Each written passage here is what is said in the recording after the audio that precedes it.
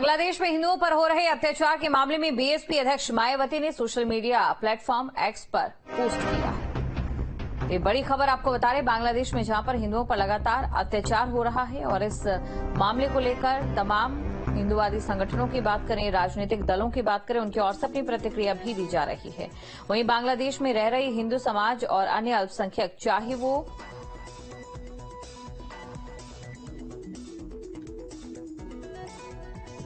किसी भी जाति और वर्ग के हों, उन पर पिछले कुछ दिनों से हो रही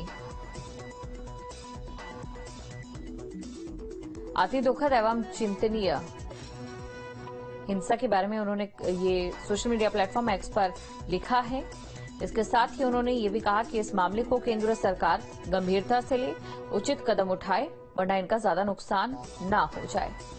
तो बीएसपी अध्यक्ष मायावती उनकी ओर से सोशल मीडिया प्लेटफॉर्म पर यह पोस्ट किया गया है और अपनी प्रतिक्रिया रखी गई है।